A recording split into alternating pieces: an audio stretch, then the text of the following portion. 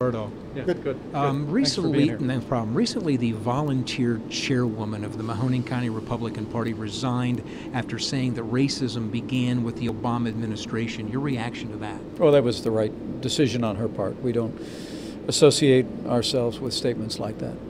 But Donald Trump has made a real connection to people all across Ohio and all across this country because he's focused on the issues that the American people are focused on. Seven and a half years of Barack Obama and Hillary Clinton's leadership has weakened America's place in the world, stifled our economy. Uh, and the people of Ohio and people across this country know that with, with new leadership, the kind of leadership that Donald Trump's going to bring to the White House, that we can be standing tall on the world stage again, and we can get this economy moving again for the people of Ohio uh, and and people all across this country. And I, I think that all of these distractions that come up from time to time uh, are are not where the people of this state or the people of the country are focused. And, and the reason why Donald Trump's making the tremendous progress and the momentum we see in this campaign is because he's going to continue to focus on the things that unite us and continue to focus on a brighter and more prosperous future.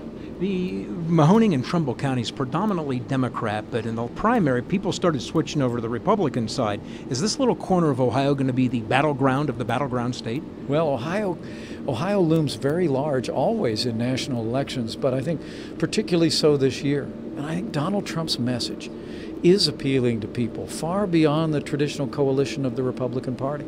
I, I met today uh, Republicans and independents and many Democrats who are responding to Donald Trump's message to make America great again. And, and I think it's because we, we recognize uh, that America can stand tall on the world stage again. We can get this economy moving again by putting into practice the kind of things Ronald Reagan did, the kind of things President John F. Kennedy did less taxes, less regulation, repealing Obamacare, and developing the energy of this country and ending the war on coal. These are all things I think that unite the people of this country, and it really explains the tremendous momentum that we see here in Ohio uh, and all across America for Donald Trump's message. One, one more quick question. This area has been beat up economically. Can the Trump administration help us?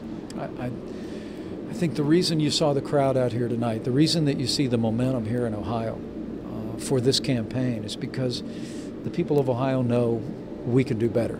The, the, the other party says this is the best we can do. But Donald Trump and I know this is just the best they can do. And with the right leadership, putting common sense principles into practice of, of, of, lower taxes and less regulations, to repeal Obamacare, to end the war on coal, to have the kind of trade deals uh, that'll put the American worker first.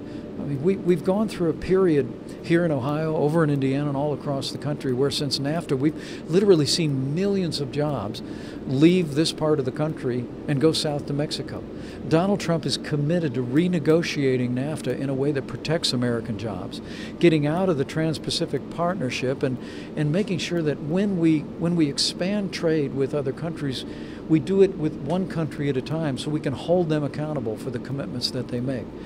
Donald Trump, as President of the United States, has the right message for growth at home, uh, the right focus on American jobs and American workers. And I'm absolutely confident that when he becomes President of the United States, uh, we'll, we'll bring jobs back to Ohio, and we'll see prosperity break out all across this country, and America will be standing tall again because we'll make America great again. Thank you very much. Nice to meet you, sir. Nice to meet Thank you. you. Thanks for coming to Latonia.